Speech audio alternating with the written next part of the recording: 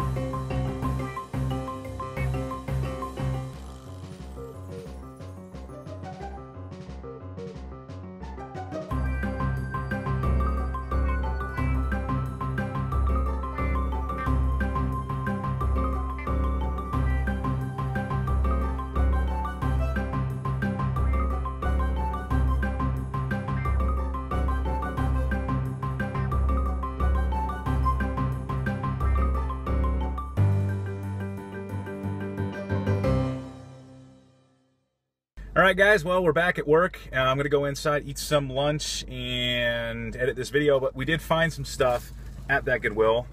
For 15 bucks, I found this digital soldering station from Radio Shack.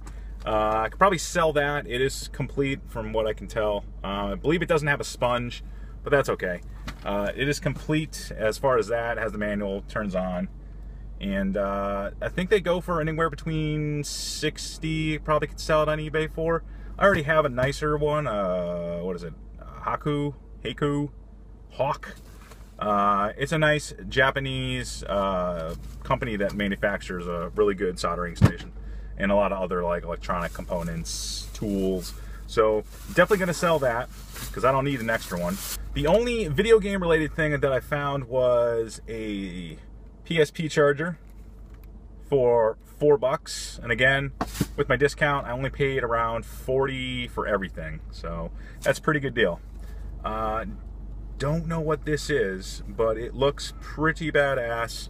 Uh, it is this giant Philips remote. It's called the SRU 8112. It was only four bucks. I don't know if you can see that. Uh, but it has this display, and usually remotes like this, like I was hoping it was one of those uh, Logitech, the uh, Harmony remotes. I already have one, but it's kind of beat up, but it does work.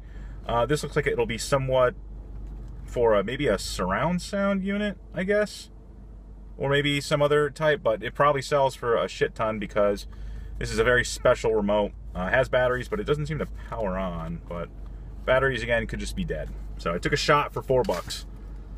And probably the only thing I'm going to keep uh, well, I'm going to keep the PSP charger because oh, I can never really find mine, uh, is this. It is a Apple, uh, I guess it's called a time capsule. It's a two terabyte wireless router. Um, I have already one of these airport uh, routers, but this one has built in, I guess, two terabytes.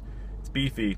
Uh, and I want to see if I can use this uh, as the base station and use the other one as kind of like a a rebroadcaster of my wireless network so I could have more coverage in my house. Um, and that was only 25 bucks. Uh, and these go, I think, like for over 100 bucks. So I'm also curious to see if there's anything on this two terabyte, like what's on there.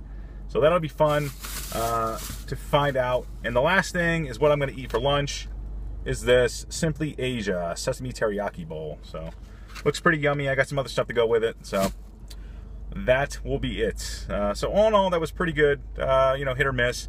They did have another uh, Mac wireless uh, airport router, but it's the same one I have for 25 bucks. So I passed on that. Uh, they had uh, PlayStation 2 bundle. Uh, no, I think it had one controller, uh, but no hookups for 15, so that wasn't too bad. I'm really looking for ones that have the network adapter. And they had a Wii, just the Wii by itself, sold as is for 20 bucks. And uh, that was it. I didn't see any games. They had a nice Sony Bravia TV, but they wanted over 200 bucks. I think 220 bucks for it. And uh, that was it. So pretty good that I found what I found uh, for 40 bucks. I could probably make some decent profit off that. As always, guys, if you like this video, hit the thumbs up. If you didn't like it, hit the thumbs down. And then I want you to go and I want you to drink toilet water. Make sure you don't flush before and just drink some. It's good because whatever goes in your body and comes out is still good. As always, guys, keep up the thrift, and I'll thrift with you later. Woo, woo. Play Blockbuster Video's $20 million Win in a Flash game. Three out of four win. And while you're at Blockbuster, play the latest releases. Carter Hayes has found the perfect apartment, the perfect landlords.